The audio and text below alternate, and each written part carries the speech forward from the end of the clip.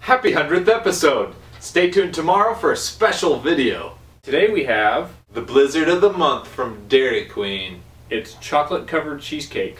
I love cheesecake and chocolate, Who doesn't? so, and ice cream, and Dairy Queen. So this just computes to the best thing ever for me, so. So it's chocolate ice cream. I, I was expecting vanilla ice cream. All right, let's try it. Alright. Very chocolatey. Yeah. It doesn't seem like there's a lot of cheesecake in here. But it doesn't skimp on the chocolate, that's for sure.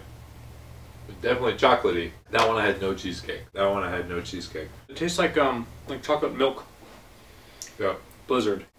When you get to the cheesecake, you almost can't taste it because the chocolate's so overpowering because it's chocolate ice cream and chocolate chunks.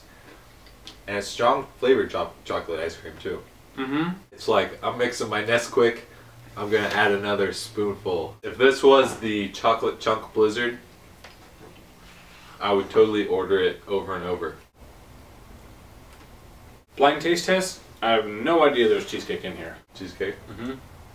Found one. It's like a rare surprise when you find some cheesecake in here. If I was to estimate how many cheesecake bites were in this cup right here, I would guess nine. I guess they can buy a cheesecake and, and use it for hundreds of. Yeah. It was under four bucks for a medium size. This is 880 calories for a medium size. It's worth it. Um, Too good to not eat. I mean, it's still a very good product with the flavors and stuff. More cheesecake. Please, Please, more cheesecake. please.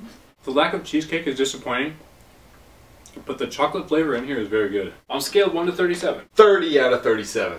29 out of 37. Thanks for tuning in to the two minute reviews. The two minute review.